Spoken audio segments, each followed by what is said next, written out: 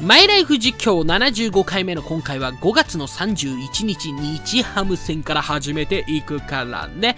前回に続き今回は交流戦の残る試合をプレイしていきたいと思います。残る試合はあと3カードに9試合ということになってるからね。まずは日ハム戦からです。この試合は登板がないので野手での出場になるわけだ。ここまで投手ではね、この交流戦で打たれに打たれ防御率も1点台から2.55まで上昇し、そしていっぱいやっちゃいましたからね。ただ打つ方では前回の動動画で夢の2桁本塁打というものを達成しましたから、もちろんこのまま終わるつもりはないよ。大谷が日本時代に残したキャリアハイの22本、あれを更新するためあと13本打っていきましょうよ。さあ、1打席目ね危ない、軽々打って凡退するとこだった。俺の悪い癖だからな。打ってる時に調子に乗ってね、クソボール振りに行って凡退してそこから悪夢の始まりみたいな展開が多いですから。クソボールは手出しちゃダメなんだよ。今のもボール球手出してに行っての凡退ですからね。最悪だよ。わーおデッドボールもうここ最近これが多いんだよ。もう勘弁してくれよ。軽くいじめを受けてるっていうね。なんでみんな揃って俺にぶつけてくるわけ？おいーす怒りの一撃だね。なめんじゃねえこの野郎。今季11本目。早くもいただきました。そらお前デッドボールの怒りがあるんだからね。怒りをパワーに変えましたわ。最高の結果だねホームランという形でやり返したよ。いやー、暴力を暴力でやり返すやり方は嫌いなんでね。暴力をその野球の方でやり返すという最も屈辱的な相手にとってね、ホームランになったんじゃないでしょうかね。バットで結果を残すからね。あまあ、ここはクソですけど、気にすんなって、そこはね、目を閉じてくれ。うわ、ほん途中で変えられた？あー、チーム5対4もなぜか俺途中で変えられるっていうね。今日ホームランの男だよ。なんで変えたし？俺がさよなら決めたかったんだけどね。途中で変えられましたが、まあ今季11号。おい、T 岡田と並んで出たというわけか。あ、ほんでこれ5月終了したね、このゲームでね。月間 MVP 俺あるかな？横浜14の9で勝ち越しだね。どうだ？あー、田口と丸。野手でね、この5月は月間 MVP の候補者に選ばれてたんですけど、取ったのは丸ですね。残念だな。ちなみに候補者っていうのはゲレーロと俺とそして筒香だったんですけど、候補者皆が取れなかったんだね。丸が取るという展開になりましたよ。ああ、まあでもこれだけの数字残してるからね、走塁でも盗塁3つですから、ということを考えれば丸で異論はないでしょうね。さあ行くぞ。6月最初のゲームでいきなり本塁打っていうのもありだな。続けていこうよ。ああこういうのいらないわ。うわー正面だ捉えてんのにもああここもなんだよこれもうせっかく前回のゲームねデッドボール食らった直後のホームランというかっこいい名シーンを生んだかと思えばいつも通りの俺に戻るというね、かっこ悪い俺ですわ。おいーすいきなり燃えるようなチャンスでやってきたね。いいっすね。ちょっとさっき打てなかった分、ここでハッスルハッスルするのもありじゃないですか。ホームランという形でね。完璧な形で。ほい、来たまず1本。いいっすね。ホームランじゃなくても完璧に捉えた打球だ。気持ちよさしかないね。同点のタイムリーヒットです。いやもう今の俺には得点圏でウェルカムウェルカムって感じよ。昔の俺なら得点圏で回しちゃダメなランキング1位だったんですけどね。今得点圏で回したいランキング1位の男ですよ。あ俺調べですからね。世間の声は知らんけど俺の中ではもう得点圏いつでも来いって毎打席得点圏がいいくらいわあまた体付近に来てる。やめろよ。デッドボールを怒りに変える男ですからね。与えれば与えるほどホームラン打つから気をつけろよ。あいやでもここは三振。速い球についていけねえんだよな。そこは変わってねえんだ千葉7対5で敗れましたね。さあ続いてロッテ戦なんですけどもこれ1戦目登板予定だったんですけどね。ローテーションがずれました。2戦目登板予定に変わりで西武戦登板予定だったものがこれずれたことによってなくなりましたので交流戦最後の登板ロッテ戦というちょっと残念な形になりましたね。いやできれば2試合登板してね。前回の分をやり返して終えたかったんですけども、まあ、ずれたものは仕方がないので、1試合目野手で、え、もう2試合目投手でね、といった感じでいきたいと思いますのでね、俺に休みはないよ。今日も打ち続けてやる。さあこい1打席目。石川防御率は5点台と悲しい数字になってるね。あーでも相変わらず打ちにくい。このドロップカーブがあるからね。で菊池もいるから。お前 FA でロッテがめちゃくちゃ取りまくってるからね。うわーここも軽く打って。ほんでファーストには中田だよ。ほんでショートには坂本。侍ジャパンから。投手含めてほとんど侍ジャパン経験者じゃないか。どういう打線やねん恐ろしいわ。ほんと怖い打線になってるよ。ロッテ戦投げたくないのよね個人的には。補強しまくったロッテ打線相手に投げたくねえよ。怖いから。ボッコボコにされそうだけどね。また菊池なんて俺からしたら相性の悪いバッターですからね。よく打たれてた。前年まで広島にいた選手ですから。また。デッドボール。ほい。真逆じゃねえかホームランとは逆のものをやったね。残念怒りをパワーに変えることはできなかった。もう今季すでにねデッドボール6個でキャリアハイの5個を更新してるわけですからね。あまりにもペースとしては多すぎるというか何なのこれ？コントロールミスでは片付けられないものがここにあるけどね。おいおいおいおいおい。あの日本時代全盛期のイチローを追い出したかのように俺にデッドボール攻めしてにメジャーに行かそうという作戦か。見てくれ。6個も浴びてリーグトップですから。2, 2位が山田宮崎、えー、戸柱の3つですから。2位と倍以上相手のトップですからね。おかしいよ。ほんで打席数で見たらこれですからね。山田宮崎戸柱よりも打席数がね50打席以上少ないのにもかかわらずデッドボールの数はこっちの方が多い。明らかに常だね。いやもう俺はイチローの時のように出ていくよこんなんね。ほんで出ていったらもうこのリーグのことディスりまくってやるからな。あんなとこでやるもんじゃないですねとかね。ツイッターでも悪口書きまくってやるよ。俺はそういうことをガチでするやつですからね。さあ、続けて当番の試合ですね。先ほども言った通り、もうほら、ほとんどがね、外から入ってきた選手ばかりですからね。坂本いて、大和もいるっていうね、菊池もいて、中田もいて、その中田は9番で使われてるというものに、なんかいろいろ突っ込みどころ満載な打線ですから、個人的にあまり投げたくなかったんですけど、来ちゃったものはしゃあないんでね、このロッテ打線はなんとか抑えて、これが交流戦最後の登板になるわけですからね、最後まで打たれ続けるわけにはいかんよ。チームを初回から援護はくれたんだ。もう今日はちょっとね、セリーグの最強ピッチャーとしての、えー、なんていうのかな、意地とか力、そういうものを見せていきたいね。って言った結果、前回打たれまくったんだけどね。このままじゃセ・リーグ限定的なピッチャーになりますから、夢は大きくメジャーリーグという夢があるからね、まあ、このマイライフではメジャーリーグに行くことはできないけど、気持ちね、気持ちはもうメジャーリーガーだけど、こんなマイナーリーガーでも打たれてたまるか。見下し投法でいきたいと思いますのでね。こんな奴らに打たれてたまるかっていうね。さあ1番バッターから球数は多く使いたくないんだけどな。落ちんなよ奥井見せてくれたね。さすがだよ。ありがとう。いつも救われてる。奥井には感謝だ。お前は戦友だからな。これからもよろしくだよ。お手手をつないで生きていきましょう。さあ奥井に救われた。がここはどうだ？抜けて。行かない倉本が止めて。おいおいおいおい。2者続けて守備に助けられてるよ。マジか？ありがとう。グラボトン感謝する日が来るとはな、基本的だったんでね。味方じゃない人です味方だと思って後ろ向いたら敵がいるみたいなパターンが多かったんだけど。いや、もう神っすわ。今後、クラムトをディスるような真似はしません。一回、守備でのね、あの、助けもありですね。ゼロで切り抜けられました。ほんと感謝ですね。奥井もクラムト。ありがとう。勇気をもらえたわ。この勇気をまた力に変えていかないとね。勇気もらいました。はい、そこで終了じゃダメですから。結果として表しましょういいピッチングをねこんなにちょっとね涙が出そうな試合もないよなかなかね守備で救われる場面っていうのはそんな多くなかったですから前ライフ基本ねそれ取れないんかいっていうのを突っ込みまくってた動画でしたからね頑張ろうで、風もいい感じでね、レフト方向に吹いてますから、今レフト方向に強い打球打つと、そのまま打球が伸びてスタンドインあるよ。ほら。これは投手の時ではマイナスですからね。俺にとっては、なんていうのかな、向かい風になりますから。打球が伸びるっていうのはまずいっすよ。またパワーがある選手が多いんでね。で、5番に効く近い。いろいろ突っ込みどころ満載だな。入れ替えした方がいいんじゃないの？菊池3番の方がいいと思うけどね。まあ、俺にとっちゃこっちの方がいいですからね。3番で使われるより坂本と菊池の並びとか本当侍ジャパンでしかもしくはオールスターでしか見れないでしょ。贅沢だな。いやもう超人気球団となってるわ。これだけの戦力がいるんだから。うわーフォアボール。うーん。上本。これもお前阪神のあの上本じゃねえかどれだけ外から取りまくっとんのよお前一時期の巨人かっていうくらいね。いや巨人よりもえぐいでしょででほとんど日本人選手ですからね。えぐいよ。えげつねえ。わあ盗塁セーフか。マジで。タイミングアウト臭かったけどね。まあセーフなもの仕方はない。後から言ってもね。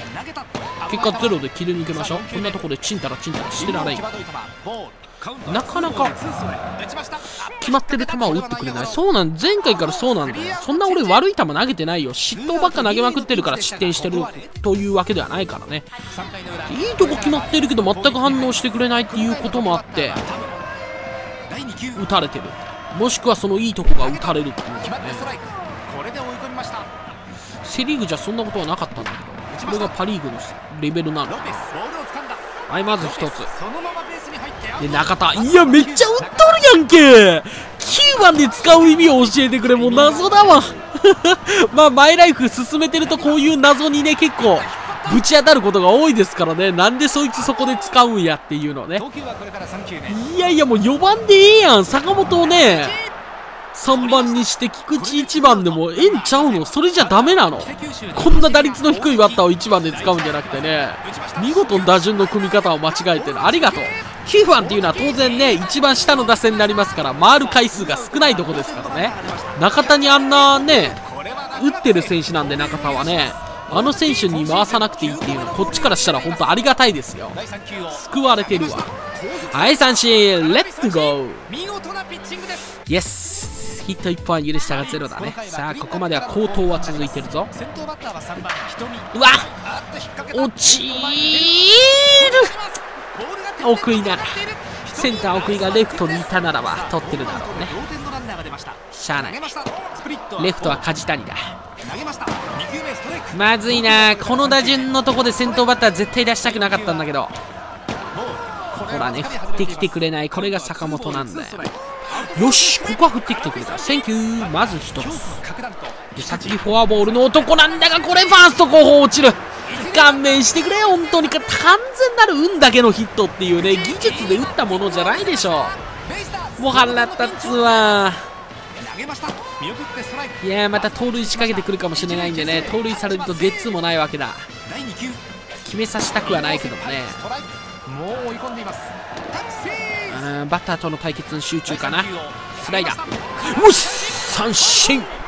決まった。でこの中村を抑えればとりあえずはゼロで切り抜けられる。今日はもうこの1点で俺は勝とうとしてるからね。これ以上の援護は必要ね援護なんていらねえっていう感じでスタイルでやっていこうと思ってる。いやー打たれて。うんごめんね。援護もっとちょうだい。お願いします。足でもケツでもいろんなとこ舐めるんですね。ペロペロしちゃいます。気持ちいいっすよ。俺のペロペロはね全てを活かせる能力持ってます。誰か俺を救ってください。抜けない。OK ああでもしょうもない形で失点しちゃったね。2割3分のバッターに打たれての失点だよ。見下してるからそうなるんだよね。2割3分でも力を入れて打たれる可能性もあるかもしれないという気持ちで挑めばですね。打たれることもなかったかもしれない。でも俺は基本見下しながらこんなやつに打たれてたまるかっちゅうねん。っていう気持ちでやるからこうなるんだよ。ダサいよね。それで見事打たれるんだから。情けないわ。あーバットも今なんかピタッと止まってんな。打率も気がつけば2割4分すら切りそうな感じだよ。ここまで基本2割4分以上はキープしてきたからね。それが1ヶ月以上続いてるんで2割3分台に入るっていうのはかなり久々になるよ。切りたくねえな。バットでも結果残せなくなったのは最悪だぞ。追い込んでいます投手でダメバットもダメってなったらどうなんのなんで見てくんねんお前。鬼か鬼なのかあーしピッチャーが取りに行くんかい強引に取りに行ったね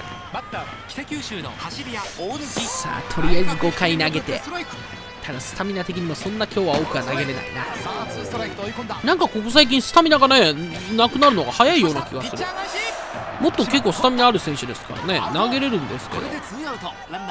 この交流戦では7回投げたことがまだ一度もないよね確か。まあそれは打たれてるっていうのもあるんだけどね。うーんもうこれが多い。ほんと2アウトからの無駄なシングル。あくびが出るシングルだね。面白さなんてそこねえよ。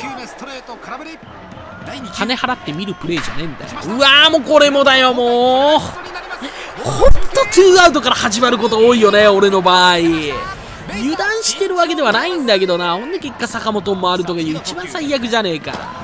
風も今すごい風吹いてるよこれ。ないでしょ。よくボール投げれんな。そういう風だぜ。うわーもう最悪だ。はいはいはい。ツーアウトからの無駄な失点。勝ち越しだ。もう。ストレスたまるわ本当に。クソムカ。本当このパターン多い。無駄すぎるバッターに無駄なシングル浴びてね。ああ。負け投手になってもおかしくないね。はいチームは逆転してくれました。感謝です。ありがとう。シェイシェイだ。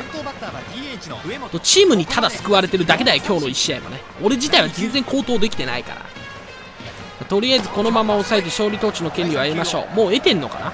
まだだよね。うわーもう。なんでこんな打たれんねんほんと。ポンポンポンポン。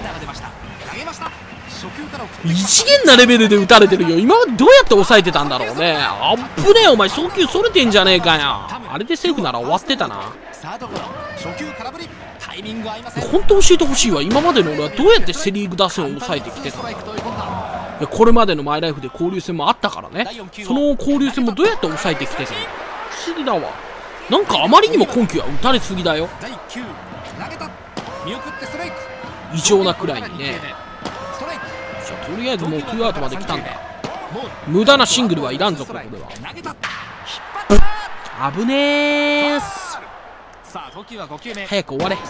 三振だろお前。以外入ってんじゃねえかよ今のうわーもうもうもう勘弁してくれよ戸頭さん。ただでさえ打つのもクソなの。お前守る方もクソならなんで使われてんだよ。意味がわからない。はいゼロだね。危ない。もう怖い。いつも通り被安打8本とかなり多く打たれてるよ。さあほんでああ変えられたね。あとはもうチームの勝利信じましょう。はいはいはい同点追いつかれたんで今日の俺の勝ちはないね。まあそもそも勝てるようなピッチングはしてなかったからねまあでもまた中継ぎに勝利を消されました。さあ4勝目を挙げてから俺何試合勝ててない？もう5試合6試合勝ててねえよ。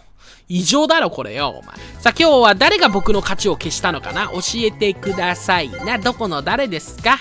えー、っと、失点したのは須田さんですね。はい、ありがとうございます。防御率7点台のピッチャーがいる場所じゃないんで、ちゃっちゃと2軍落ちとけや。目障りだ、消え失せろ。まあもうこういうことは慣れっこですからね。そこに驚きだったり、うん、まあ怒りとかもないですね。ただただ、なんか目の前から消えてほしい。いなくなってほしい。うん。なんか人として認識したくないという。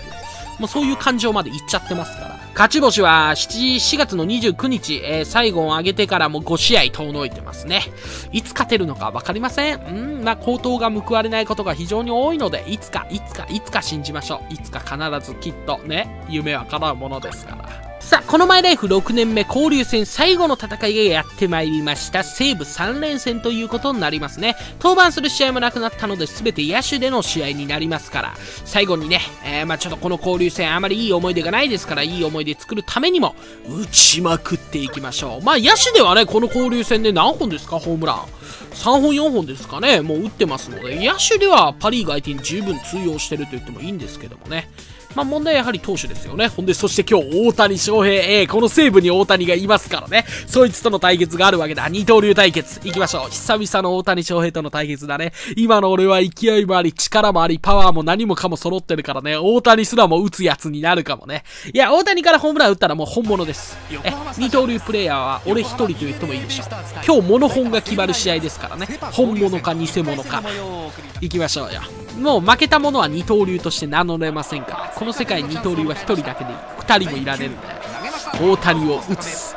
シーズン防御率は2.73投手での成績も俺の方が上回っている感じかな。まあ防御率だけで判断するならばね。そんなことはどうでもいいんで野手で打つことだけしか考えてない。ユニフォームは変わった。チームも変わったが大谷らしさは健在だね。球が速いわ。うーんやはり球の速さもありここはついていけなかったな。1打席目得点圏でショートゴロ。まあまあまあまだ対決機会はあと2打席あると思いますのでねそこで打てばいい。たった1回凡退しただけだちなみに対大谷との成績は2割5分ですね。1打点とまあ対決機会は少ないのでそんな受けてるわけではないが、まあ、決してゼロではないですからねウィースはい1本いただきましたシングル1本それだけやね。喜びはないよ、そこにね。一発打たないとどでかいやつね。大谷、マウンドまだいるね。よっしゃ、お前から打つよ。それも1対1のチャンスだ。チャンスじゃねえわ。まあでも、同点の場面、ここで打てばヒーローになれるよ。ヒーローにならなきゃね。来いよ。ストレートがこれご自慢の。スライダーに見事の三振ですね。なんかクソだせえわ。まだ大谷投げてんのかい？さ、さよならのチャンスでやってきたよ。ランナーは一塁。引っ張った挙句打たれたらちょっとかわいそうだな、大谷。同情するよ。だって、お前はここで打つからね。あー、これだけは抜けないゲッツはいはいはい、見事に負けですね。大谷さんに勝つことはできませんでした。さすがもうピッチャー変わってますね。まあでもサヨナラのチャンスでやってきましたからこれもね。またゲッツ打つわけにはいかんよここで。2度は繰り返さない1回はやってもね。過ちは繰り返さない男なのでゲッツーの後のこの一撃。はい素晴らしいね。抜ける。OKOKOK どうだ？サヨナラなるか？サヨナラ打ったことは確か一度もまだないはずなんでね。あでもチームは結果サヨナラですね。はい俺のヒットが効いたわ大谷からは1安打のみ、それもゲッツーで抑えられてるので、個人的な対決では大谷に勝ったとはとても言い難いよね。ちなみに大谷翔平は打者で4の0ですね。そしてここまで2割6分9厘で5本塁打か。いやいや、ホームラン数でももうダントツ大谷よりも打ってますからね。投打ともに大谷をもう超えてると言ってもいいんじゃないかな。世代交代が今起こったね。大谷からピーマンへと。さあ2試合目やってきたよ。今日は大谷翔平ではないですが打ちましょうよ。ほら来た。いきなり伸びてアウトだ。吸い込まれたねさすい。はいいただきましたのはずなんだけどね。ど真ん中すっと捉えるも正面ついたわ。もうスタンド運べなかったさあここまでノーヒットで来てるよ。ツーアウトランナー三塁。最後のバッターとなるか。1点差だ一撃が出れば逆転サヨナラホームラン。行こうかそれね。サヨナラはまだ一度もねえんだ。ここで打ち合い。ここ最近ね結構初物が多いですからね。満塁ホームラン打ったりね。だだフォアボール打たしてくれない。でチームは結果サヨナラ勝ちだ。ツーアウトからの見事な勝利だよ。俺のフォアボールも大きかったね、何気にね。ちなみに、俺のフォアボールの後の打席は、その後のバッターは代打の音坂がタイムリー打って、これで同点だね。で、最終的には桑原フォアボールを選び、その後の雄平が打っての、えー、勝利ということになったわけでございますね。すごいね、これね。とんでもないゲームになったわ。はい、交流戦最後の試合になりますね。悔いのないようにやっていきましょう。今日の先発はバウンディという謎の助っ人外国人。謎ですから怖いよね。何投げてくるかわかんない。データがないのでね。まあでもパワプロの助っ人外国人ってそんな強い選手はなかなかいないので、まあ大したことないでしょうね。さあ来いよ、バウンディ。お前を打ってやる。防御率も5点台。クソやない。こんなのもしもペナント実況やってる時に来たら即刻クビにするわ。まず取らねえよ。何を思ってこれ取ったんだよ。思いっきし外れ中の外れだろ。